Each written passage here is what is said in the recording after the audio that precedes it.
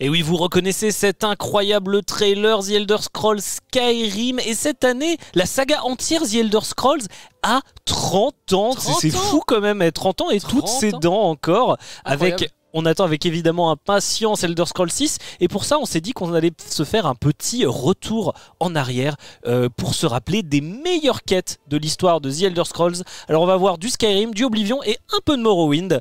Allez, T'as pas trouvé des quêtes de Arena? Eh ben, non. Le jeu- le- je te jure, hein, j'ai cherché, hein, mais les, les, premiers, les premiers Elder Scrolls, c'est compliqué. C'est hein. plus compliqué. Allez, c'est parti. Et on va commencer avec une quête qui s'inspire du 7ème art. Est-ce que tu te rappelles dans Skyrim de cette quête où tu dois faire un concours à boire Mais oui, et il se passe des trucs de fou? Ça, ça part en vrille. ça peu. part complètement en vrille. C'est la quête qui s'appelle Une nuit mémorable où cette euh, énergumène, Sam euh, Gevenet, Geven, vous fait un, un espèce de concours à boire un et concours à ouais, c'est Ouais, classique. Tu l'as vu dans plein de trucs déjà, ça marche très très bien. Exactement. Et, et vous tombez dans les pommes et vous vous réveillez. Et euh, bah, vous apprenez que euh, il s'est passé des dingueries. Donc apparemment, vous êtes marié avec. Avec une entité démoniaque, je sais même plus comment ça s'appelle, les trucs que les parjures ils aiment bien là, ces espèces de, de, de sorcières avec des ailes de corbeau et des grands Ah oui, pifs. oui, oui, oui. Et bah tu t'es marié avec ça. parlais avec ce truc-là, bah oui, Ouais, bien, ouais, sûr, ouais. bien sûr. Et t'as fait plein de, de dingueries. Et en fait, euh, vous le reconnaîtrez peut-être euh, si euh, vous êtes fan de ciné, c'est très inspiré par Very Bad Trip, Bah, en fait, sûr, cette, sûr. quête-là. Et euh, exactement The Hangover, euh, qui veut dire euh, la gueule de bois. Et en fait, évidemment, comme tout dans Skyrim, Et puis tu retrouves tout euh, ce que tu as fait euh, pendant euh, cette période. quoi. Et c'est c'est vrai que c'est hyper rigolo à faire dans Skyrim, cette quête où tu, tu suis un peu un fil d'Ariane des indices que tu as toi-même laissés. c'est ça. Et, sauf que bah, tu te rappelles de rien et c'est vraiment très marrant. Et évidemment, comme toujours dans Skyrim, bah, c'était c'était un Dédra qui avait foutu la merde, puisque c'est le Dédra de la luxure et de la débauche qui était venu euh, bah, se marier en fait. Il avait fait son petit truc. Et euh, on le sait, hein, dans, dans The Elder Scrolls, les Dédras, ils aiment bien jouer avec les mortels. Surtout nous. hein. Euh, oui, c'est ça. et et, c'est un des meilleurs exemples. C'est une quête qui est vraiment très drôle et ça fait toujours plaisir d'avoir un peu d'humour dans The Elder Scrolls. Grave. Et du coup, on va aller du côté d'Oblivion ce coup-ci pour l'incroyable DLC The Shivering Isles, un Oui. incroyable DLC où on est dans le monde de Sheogorath, le Dédra de La folie. Oui, c'est ça. Tout à fait. Il est fou le gonze. Il est complètement fou et on va un peu spoiler cette quête. Donc euh, la fin de tout, de tout ce DLC. Donc si vous l'avez pas fait, je vous conseille d'aller le faire. Vous pouvez passer à la prochaine quête. Vous inquiétez pas, vous loupez rien. Et euh, du coup, qu'est-ce qui se passe Montre-moi un peu parce que moi je connais pas du tout. alors, c'est n'importe quoi. C'est-à-dire qu'en fait, vraiment, le DLC est assez long. Ouais. Euh, une- C'est pour ça qu'on parle de quête. Là, c'est vraiment la quête finale de tout le truc. Et en fait, ce qui se passe, c'est qu'il y a un truc qui va arriver et qui va détruire le monde de Sheogorath. Et Sheogorath, il a très très très peur. Donc, il appelle euh, le héros, euh, donc nous, Oui, pour bah, essayer de venir régler le truc. Ce, ce truc qui arrive, ça s'appelle la marche grise. Et en fait, c'est le retour du Dédra de l'ordre qui Ah. vient tout détruire, tout à chaque nouvelle ère. Donc, tu sais, il y a les ères dans The Elder Scrolls, tout ça. Hmm. Et en fait, on va euh, progresser, progresser, progresser dans la quête jusqu'à ce que le moment fatidique arrive, mais on va décider de se battre pour euh, bah, essayer d'empêcher la destruction du monde de Sheogorath. Ça a beau être un endroit pourrave, euh, en vrai, il y a des trucs à sauver. Il y a des trucs à sauver chez Sheogorath ouais, il y, a Ah quand même ouais? des- il y a quand même des gens qui vivent. Bon, Ah, voilà quoi. Bon, d'accord. Et du coup, on va se combattre contre cette espèce d'entité euh, qui est le Dédra de l'ordre.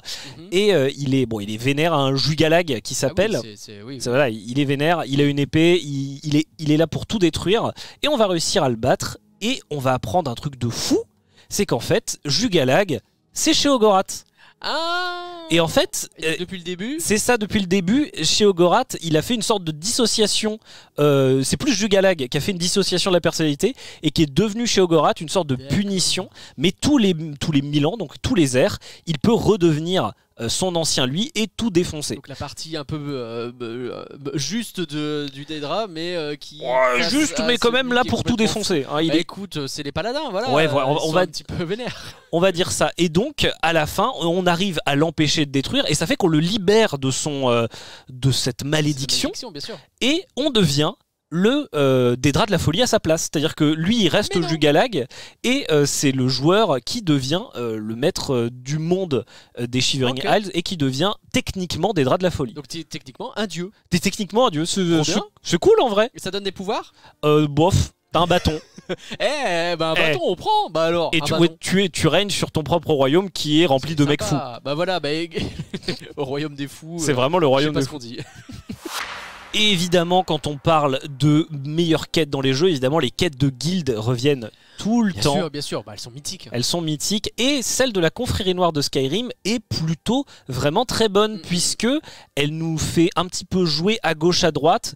On, on va rencontrer des personnages hauts en couleur comme le fameux Cicéron Bien hein, qui, qui nous trahit ce salaud Bon. Euh, et on va euh, commettre essayer de commettre un premier assassinat sur l'empereur. des assassins, la confrérie noire. Oui, j'ai dit des voleurs. Euh, non, tu as j'ai rien dit. donc ah oui, c'est pour ça. Oui, non, mais Je tout le à fait. précise. Euh, et, oui, c'est vrai. Et on, on doit assassiner des gens et on va d'abord faire un- une, tente- une première tentative d'assassinat sur l'empereur en place.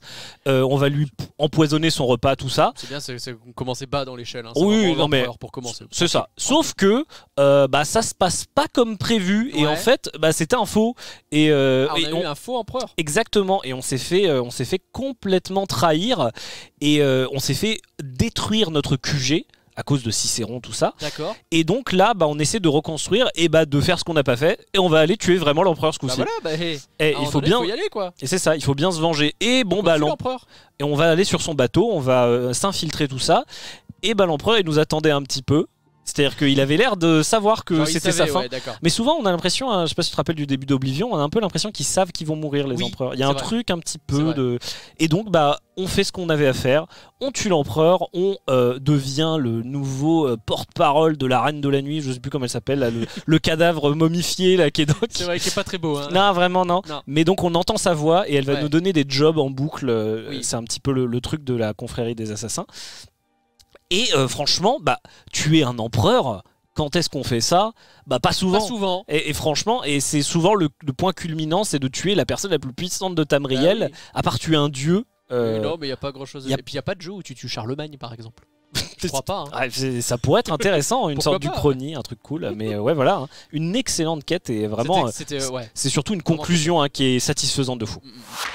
Et on parlait de quête de faction avec euh, les assassins dans Skyrim, et les assassins dans Oblivion, c'est pas fou. Donc on va aller du côté des voleurs. Les du coup. voleurs d'Oblivion du coup. Eh oui, les voleurs d'Oblivion, elle est vraiment très très très bien. On va faire tout un cheminement, on va devoir aller voler des trucs dans des maisons pour en faire monter notre rang, notre rang, pour faire cette quête qui s'appelle le vol ultime. Qu'est-ce que ce serait selon toi le vol ultime dans The Elder Scrolls L'ultime, c'est récupérer la couronne de l'empereur que tu viens de tuer. Bah non, c'est le nom Oh. du jeu, c'est récupérer un Elder Scroll. Ah bah oui. Évidemment, et, et le vol ultime du renard gris, donc qui est le euh, patron des voleurs dans, dans Oblivion, Ouais. c'est d'aller droit dans la cité impériale, au centre de l'endroit où il y a les mecs qui lisent les, les Elder Scrolls. Alors techniquement, ils les lisent pas parce qu'ils sont aveugles. Parce que c'est des fameux euh, parchemins sacrés ultimes. euh, c'est que- ça, exactement. Et, et ils sont gardés par des, par, euh, des moines aveugles qui euh, donc font que l'infiltration est un peu plus facile, mais ils ont une très très très bonne ouïe. Faut, faut pas faire de bruit, mais globalement, tu peux danser devant eux, c'est pas grave. C'est ça ça. que tu veux dire, bien sûr. Et, et du coup, euh, le, le vol ultime, donc voilà, il va falloir récupérer euh, sept Elder Scrolls au, au nez et à la barbe de ces moines Oui, aveugles. Ils sont là et genre ils se... Ouais. Voilà. Ils pensent que t'es quelqu'un d'autre et donc ils te filent le- le- D'accord. l'Elder Scroll et, et tu peux réussir à l'avoir. Je tiens à admettre que cette quête a bugué moi quand je l'ai faite. Ah bon? Ouais, donc j'ai dû, euh, j'ai dû euh, truander dans la commande Oh pour là avancer. là. Mais c'est vraiment une, une conclusion de fou quoi. C'est- Quand- trop chouette de voler comme ça un C'est- Elder Scrolls. C'est ça, le titre, c'est littéralement le vol ultime et Bah oui. c'est mérité. Le voler un Elder Scroll, c'est un truc de fou. voler le jeu en fait. Et évidemment, comme dans toutes les quêtes de guilde, à la fin, euh, le renard gris en place décide de euh, repro- sa capuche parce qu'il a une espèce de masque. euh, c'est ça qui fait qu'il est le renard gris. C'est dommage, il était avec un ça. swag incroyable. Et il nous la donne à nous et on devient renard gris à sa gris, place. et ben Donc voilà. on peut être à la fois chez Ogorat, euh, renard gris. Bah oui, bah pourquoi pas. Bah, Et c'est fou, vrai hein. qu'à un moment donné, tu deviens beaucoup de trucs dans les C'est un, un petit peu beaucoup, mais c'est vraiment une quête, une quête de fou et je trouve que c'est la meilleure quête des voleurs de tous les Elder Scrolls. Ok. Et du coup, une petite quête un peu plus calme après les quêtes de guild qui sont souvent assez mastoc. Celle-là, elle est rigolote en fait, parce que tu sais, dans, dans Oblivion, pour euh, level up certaines stats, il faut aller dormir. Donc, bah, Oui. t'as pas beaucoup de choix, et le mieux, c'est d'aller dans une auberge. Et il y a Bah oui. cette superbe auberge euh, qui est dans les docks impériaux, où c'est en fait un bateau. C'est dans le bateau, ouais. Ouais, c'est ça. Cool. Et c'est un bateau, et tu peux aller tranquillement t'endormir dans ce bateau. Et euh, le bateau va se faire détourner par des pirates. Donc Et- tu te réveilles et puis d'un seul coup il s'est passé des trucs. C'est ça, il s'est passé des trucs et il y, a- et il y a des pirates qui vont arriver et qui vont essayer, euh, qui cherchent quelque chose et on sait pas trop pourquoi ils sont là. T'as deux choix. Soit tu les massacres sans leur poser de questions, Ce que tu peux. ce que tu peux complètement Bah oui. faire, soit tu essaies un petit peu de les triturer et en fait Mm. tu vas apprendre petit à petit ce qui se passe. Apparemment, il y a un galion d'or Ah. donc qui serait planqué sur cette auberge. Donc ça a l'air d'être plutôt legit Euh, et donc tu vas affronter trois euh, espèces de, de, de, de sous-fifres Oui, bah, bien sûr. que tu vas essayer de leur tirer les verres du nez et après tu vas les tuer. Bon, c'est comme ça. Et puis après tu récupères donc euh, des infos pour récupérer Et, euh, et tu, et tu récupères des infos pour aller confronter leur chef. leur chef, le chef des pirates. Exactement. Et leur le chef des pirates, c'est une certaine Sélène, qui n'a rien à voir avec la Sélène de Skyrim, qui était une vampire.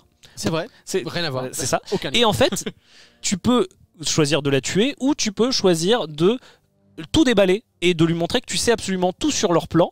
Et plus ça va aller, plus elle va dire Ah, oh bah euh, d'accord, bah euh, très bien, je me rends. Et en fait, elle Ah va oui, donner son arme et elle va abandonner complètement cette quête. D'accord. Et, et c'est cool parce que ça fait un vrai truc de RPG de se dire t'as appris des trucs donc tu peux passivement bon t'en as tué trois quand même Oui. parce qu'en fait tu lui dis t'en as tué trois elle fait ok euh, je veux pas tenter ma vie elle vaut pas elle vaut Tu pas un galion d'or final en mode oui non mais allez, c'est bon. ça ira quoi Ça va. et quelle est la conclusion de ça où est ce foutu galion d'or Oui, bah en fait c'est le- le- le- l'aubergiste il a menti Il y en a pas du tout. il y en a pas il a essayé de créer une espèce de légende autour de, ces- de ce galion d'or et en fait c'était un C'est mensonge à double tranchant de créer des légendes. C'est ça, et donc ça a attiré vraiment des gens euh, malfamés alors qu'en Bah oui. fait il y avait rien du tout. Bravo, vraiment Bravo. un super job. Ça c'est la pub TripAdvisor, faut toujours se méfier. c'est c'est clairement ça. Et on va revenir sur Skyrim avec une quête qui est hyper connue parce que c'est souvent la première qu'on trouve quand on arrive à Vendôme, vous savez, la ville du Nord où il y a Ulrich euh, machin, sombrage. non. Ulfric sombrage, c'est ça. Euh, et en fait, on arrive dans cette, euh, dans cette ville et il y a eu un meurtre. Mais non. Et euh, bah, le meurtre, il est un peu violent, quoi. Et il y a des rumeurs qui vont un petit peu partout dans la ville, comme quoi il y a le boucher de Vendôme. Oui, c'est vrai. Et en fait, c'est vraiment euh, bah, New York unité, non pas une New York unité spéciale, mais euh, NCIS, CSI, je sais pas quoi, les experts Hmm. à Skyrim. On va devoir aller enquêter, Petit euh, côté Sherlock Holmes aussi. un petit côté Sherlock Holmes, c'est ça, ouais. Agatha Infiltrer, de- poser des questions, trouver Ouais. des, des preuves pour trouver qui est le fameux boucher. Et en vrai, c'est vraiment juste une quête qui est hyper cool à suivre. elle est très bien, ouais. J'ai le souvenir comme ça, tu, tu passes ton temps à demander à plein de gens, mais alors toi, t'as vu quelque chose? Oui, non. Il faut un peu euh, cross-vérifier les informations, euh, faire ouais. des déductions pour aller un peu chercher. Et je crois que le boucher à la fin, c'est un truc un peu glauque, c'est pas ça l'idée? Euh, pas tant que ça en fait, c'est un mec qui est, qui est, euh, qui est dans la ville euh, et qui, euh, on apprend assez vite qu'il a une nouvelle cible. Ouais. Et en fait c'est un mec qui paraissait tout à fait innocent, c'est ce mec là, euh, Calixocorium. Du coup, tu tapes dans le dos, bravo. Bah, eh, il, a, il a failli aller assassiner quelqu'un d'autre et en fait c'est en apprenant quelle allait être sa prochaine cible qu'on peut l'en empêcher. Et euh, on apprend à, on- on- vraiment c'est tout un truc de cheminement, de réflexion et tout. Mm. Et c'est vachement vachement cool et on Ouais. apprend aussi que bon c'était un nécromancien. Ah, euh, en puissance, voilà, il y avait Oui, quelque chose quand même. Ouais. ouais. C'est ça, c'était pas non plus le mec le plus sympatoche du coin, quoi. A priori, non. Le boucher, bon. Voilà. La seule quête de Morrowind que j'ai prise, parce que les quêtes de Morrowind, elles sont pas dingos, elles sont sympas. Mais remonter un peu loin. quoi. Ouais, c'est ça, c'est ça. simple. Il y en a des cool, mais elles sont souvent dans la quête principale. Celle-là, je l'ai trouvée vraiment cool parce qu'elle est vraiment, elles sont un peu de nulle part. Mhm. Ça s'appelle euh, le pèlerinage silencieux. Ouais. Et en gros, on croit ce type-là qui est un prêtre du tribunal, donc de Vivek. Euh, on va pas rentrer dans les trucs religieux de Morrowind, c'est un bordel. De toute façon, il faut savoir que le personnage principal de Morrowind est un dieu. C'est juste qu'il a oublié. Bah, ouais. Euh, Ça voilà. arrive. ça, ça arrive. Et donc, quel est le but de cette quête qui s'appelle le, pèl- le pèlerinage silencieux? C'est d'aller du tout sud de la map à Vivek Ouais. au nord. euh, donc ah oui. Tout comme ça. Tout le trajet, ouais. Sauf que évidemment, le pèlerinage en lui-même, ce n'est qu'un bout du chemin. La deuxième partie, c'est dans le nom, c'est silencieux. Tu n'as le droit de parler à personne. D'accord. Et évidemment, c'est un jeu à l'ancienne. Il n'y a pas de fast travel depuis la carte. Ah ouais. en gros, donc- pour fast travel dans le jeu, c'est soit tu dois parler à des mecs euh, sur euh, des bateaux, Mm. soit des espèces de longues euh, de, de monstres avec des longues jambes pour qu'ils te- dans t'y les deux cas, emmènent. faut parler quoi. Dans les deux cas, faut parler. Tu peux pas. Donc tu ne peux absolument pas. Donc ce qui fait que tu dois faire du sud, tout sud de la map au tout nord de la map. Ah la map chiante, la, la quête chiante. Mais sauf que il y a un vrai truc d'introspection, un vrai truc de, il faut un peu réfléchir au plan que tu vas prendre, à réfléchir à tes trucs là, et c'est vraiment, je la trouve hyper intéressante cette quête quoi. C'est euh, une quête qui paraît euh, banale et en fait elle te fait vraiment grandir entre guillemets, ça reste un jeu vidéo, mais c'est quand même assez dur. Et si t'es malin, ce que tu peux faire, c'est avant d'activer cette quête, tu vas dans une ville à côté, Ouais. tu mets un sort de retour, donc tu mets une Ouais. balise, ensuite tu vas activer la quête, tu utilises ton sort de balise et ça te Ah. téléporte. Il y a moyen de la douiller un petit peu la Bah, quête. bah. Mais c'est parce que euh, Morrowind te permet un petit peu de faire comme tu veux et le, le jeu il récompense à la fois la patience mais aussi Mais aussi euh, si t'es un peu malin. si t'es un peu malin et c'est ça qui est cool euh, dans, dans ce jeu là et qu'on a un peu perdu avec le temps il faut l'avouer Oh, mais- c'était mieux avant. c'est bon visuellement pas trop mais mais mais je trouve que c'était une Après, quête il y a un petit cachet là. ouais il y a un petit cachet. Je trouve que c'est une quête qui est vachement intéressante parce que euh, on a c'est un peu du jamais vu comme truc quoi. Et je trouve ça vraiment très très cool alors on retourne sur Oblivion et un des trucs qui est toujours vraiment très cool dans, dans ces jeux là dans Skyrim et tout c'est d'avoir sa propre maison Ouais. Ça, ça fait toujours plaisir. Tu peux ranger tes affaires, tu peux adopter des enfants. Bon, ça, c'est dans Skyrim précisément. Et bah, dans Oblivion, il y a un mec qui te vend un super manoir Mhm. pour 5000 pièces d'or. Eh ben ça c'est une bonne affaire. C'est vraiment Eh ben une alors, super Je affaire. peux te dire sur le bon coin, j'ai rien trouvé du genre. hein. Ah bah ça c'est clair et bah euh, heureusement que tu n'as pas trouvé ce genre de choses là puisque euh, la maison est totalement hantée et remplie ben de alors, fantômes. Et ouais, bah oui, le, le prix il était pas cher, mais c'était, il y avait une raison. En fait, on va se rendre compte en dormant dans le lit, on va se réveiller quelques heures plus tard et se faire attaquer par Ah des oui, non, ah fantômes. oui, carrément, oui, c'est d'accord. Donc, euh, donc on se rend compte qu'on s'est fait arnaquer totalement. C'est vrai c'est on- pas- c'est pas juste un- il y a un meuble qui bouge à 2h30 euh, précisément, c'est Ah oui, non, non, vraiment le truc est. Ah on en oui, parle plus quoi. Exactement, non, c'est pour Pas ça que je pense qu'il arrivait plus à la vendre, il a décidé de la brader. euh, et au pire, si le mec meurt, bah, il a quand même ses 5000 pièces d'or. quoi. Oui, oui, c'est vrai. Sauf que, bon, c'est pas un méchant le mec qui t'a vendu la maison. Et il se rend compte, on se rend assez vite compte que euh, il va falloir faire un exorcisme et qu'on a besoin du sang du mec pour le faire. Donc on va euh, essayer de le, le- le convaincre de nous aider. Convaincre de donner son sang C'est ça. Et gentiment. en vrai, il va le faire. Il va nous aider à ouvrir un, un portail, du moins à, à- pas à ouvrir, mais à sceller euh, ce- cette espèce de, de, de truc Hmm. pour euh, empêcher cette maison d'être complètement hantée et ça va fonctionner et ça va nous donner une maison euh, cool avec plein de nouveaux meubles qui vont apparaître et euh, bah, c'est en vrai c'est une super euh, quête pour avoir une nouvelle maison quoi Ça, c'est le meilleur de ce qu'il y a dans les Elder Scrolls, je trouve. C'est tu passes par un truc qui paraît hyper anodin. C'est ça, ouais. J'ai une bonne affaire, et puis tu termines dans une quête infinie Mm. avec un truc à la fin, une récompense cool, un personnage attachant. et Ça, c'est comme ça qu'ils arrivent à faire les meilleurs trucs. C'est clairement ça et là bon oui euh, il y a des petits il y a des squelettes dans le placard comme on dit bien, on dit. Oui, comme disent les américains et mais ça reste une, une super affaire Bah oui, bah Ouais. regarde, il y a une petite petit bouquin euh, parfait pour faire de l'escape game euh, RP. un sympa, là. Exactement. Et du coup, on retourne sur Skyrim. Et je sais pas si tu te rappelles de la ville d'Epervine. C'est une ville un peu mineure Mm. qui, qui est un petit peu, euh, un petit peu planquée. Elle n'est pas entourée avec Ouais, des. un des- peu sur le côté, ouais. Ouais, c'est ça. Elle n'est pas entourée avec des forteresses et tout. Et quand on arrive, bah, il y a un enterrement littéralement d'une petite fille. On a... Ouais. C'est- Bonne ambiance. Vraiment, on apprend qu'il y a une petite fille qui s'est faite euh, tuer par, euh, par quelqu'un qu'on sait qui est dans les geôles d'Epervine. Et c'est ce bonhomme Ouais. il s'appelle Sinding et en fait oui c'est pas juste un bonhomme normal, c'est un loup-garou qui bah, a perdu ça. le contrôle Ah oui, bah voilà. et euh, il va c'est ça. Mais sauf que bah, les loups-garous ils répondent à une personne, c'est Irsine Le, qui est le Dédra ou la Dédra je ne sais jamais de la chasse. Et il va nous demander d'aller littéralement chasser une espèce de d'élan euh, fantomatique qui a l'air d'être soit un écho soit un représentant d'Irsine Ouais. Et euh, bah, ça va être complètement le cas en fait. C'est un élan. euh, voilà, c'est un. En fait, c'est pas qu'il est fantomatique, c'est qu'il est blanc euh, comme la neige. Et quand on le tue, bah, il, va, il va y avoir littéralement un fantôme qui va en sortir, qui est en fait Irsine et qui va nous dire Waouh, t'es vraiment fort à la chasse. Il y a, y a quelqu'un qu'il faut que t'ailles chasser. Et en fait, elle va nous demander. Irsine va nous demander d'aller chasser Sinding en tant que loup-garou. Donc on va être pour le plus grand chasseur. je- J'imagine que la chasseur plus qui court après le meurtrier de la gamine. c'est ça, c'est ça. J'imagine que bah, une des plus belles chasses que tu peux faire euh, quand tu es euh, bah, quand tu es chasseur, tu es c'est de chasser un loup-garou en fait. C'est vraiment le, c'est une proie de fou. Et en fait, t'apprends que t'es pas le seul champion et qu'il y en a plusieurs.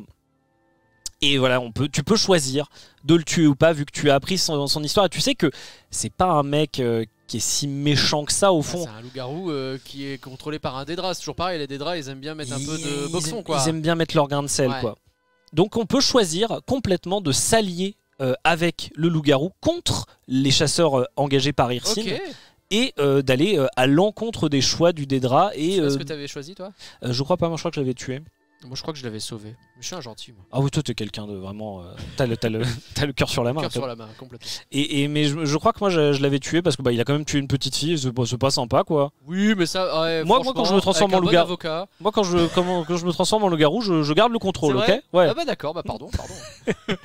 Mais, mais donc, ouais, non, c'est une quête qui est vraiment, vraiment intéressante, qui montre euh, un, un peu de dualité, Bien de, de, euh, comment dire, de zone grise morale. Et ça, c'est vraiment euh, ce qu'on aime dans les, dans les RPG occidentaux. On sait pas quoi choisir à la fin. justement, Exactement. mode, Ah, je ne sais pas. On sait pas s'il a tué une gamine, mais bon, quand même, euh, il il- a pas fait exprès. Et, puis euh, il a pas l'air d'être sympa quoi. Les Mm. Franchement, s'associer avec les Dédras, c'est rarement, c'est rarement Ouais, cool. hein. ouais. Donc bon, le choix reste à vous. Dites-nous euh, ce que vous avez choisi dans les commentaires. Moi, en tout cas, bon, je l'ai tué. Et bah voilà, super. Et donc on est de retour sur Oblivion pour une quête sur laquelle j'étais passé complètement à côté et je l'ai redécouvert en, en cherchant un petit peu pour cette vidéo et je me suis en renseigné euh, et c'est vraiment hyper intéressant. En gros ça part de rien. On, on arrive dans une ville où euh, on apprend que Dharma, une argonienne qu'on a croisée un petit peu auparavant, a disparu. Sa mère est très inquiète. Elle est partie en livraison avec son cheval. Ça, c'est sa mère. Ça c'est exactement sa mère. La elle s'appelle bien. Et euh, on, on apprend qu'elle est partie dans une livraison euh, dans le village de Coupe-Terre, un village un petit peu reclus du monde euh, et qui est euh, bah, qui, qui n'a pas trop de contact avec l'extérieur à part ces quelques livraisons. Et on en- va rêver pour une quête un peu chelou. c'est ça exactement. Et en vrai, quand on arrive à Coupe-Terre, c'est bizarre. C'est-à-dire que le village est vraiment isolé. Il y a des il y a des maisons brûlées un peu partout Mm.